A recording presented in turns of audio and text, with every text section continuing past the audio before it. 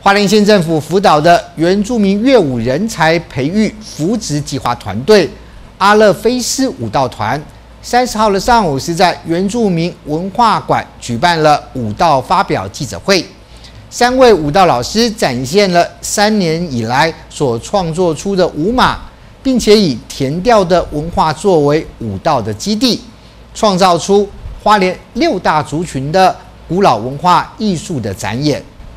花莲县政府原住民行政处三十号上午举办了一百零八年度原住民乐舞人才培育计划成果展演记者会，推出大地的祖灵的叮咛、武艺、新技艺三不惧马，惊艳众人，跳脱了花莲原住民歌舞一成不变的表现方式。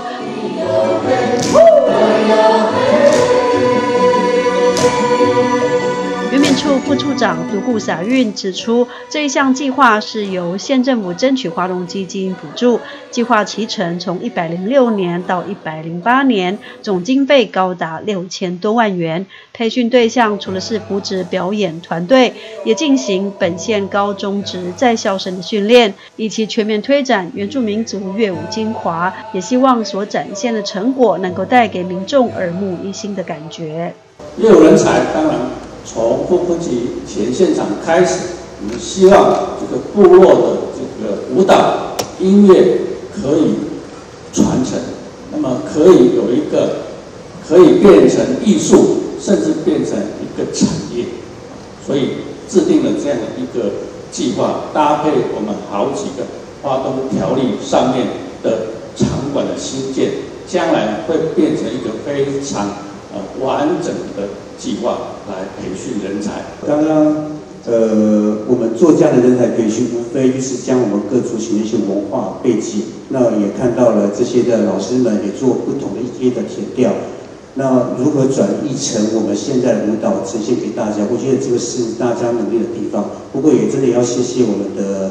呃承办处哈，就是处长，那包括我们副座。花了那么多时间，一直被我们念，这个到底有什么的帮助？其实我还是一直在疑惑。不过我想说，经过待会看完之后，或许会让我都豁然开朗。那同时间，那我们要持续的如何变得将文化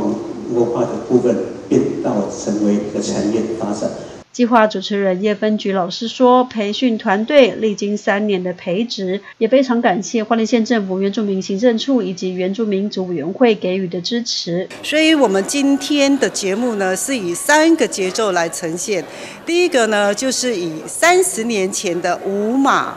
风格。”是传承中的融会贯通的一种的舞马的诠释。第二个呢，就是三十年后我们做的一个舞蹈的一个灵感，是别具风格的一个艺术的升华。第三个 tempo 呢，我们实际上就是当下我们现今的一个创作的理念，那它代表的是我们时代的一个生命力，孕育的是一个时代的精神。所以在重领的这三个面向里面呢。我们希望在未来呢，能够有一个非常好的舞台的展现空间，让所有的培训的舞者跟所有的创作的老师有一个发展的舞台，来诠释我们花莲县六大族群的文化之美。记者会上也有来自各大学高中的校长，还有议员简志龙、赖国祥、李正文。迪布斯、依赖等名义代表莅临关心原住民的乐舞发展。